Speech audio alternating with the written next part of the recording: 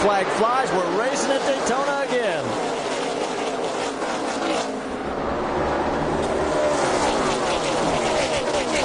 Tony Stewart's got a big push now on this one car. Let's see if they can go to the front. This time by five laps remaining here at Daytona. Down on the low side of the track. 21-year-old Landon Cassill has a five-time winner stuck on his rear bumper. They go past Reed Sorenson. They're catching the leaders here, too.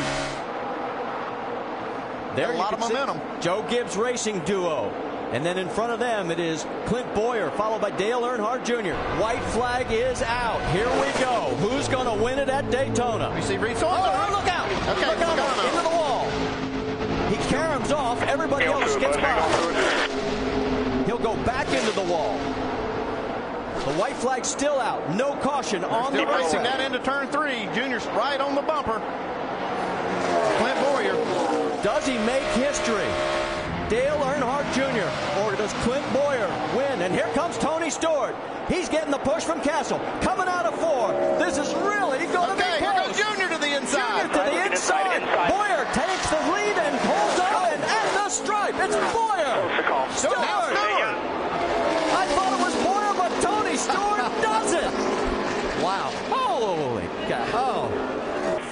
In a row is right. Oh, my goodness. Wow. This was also close.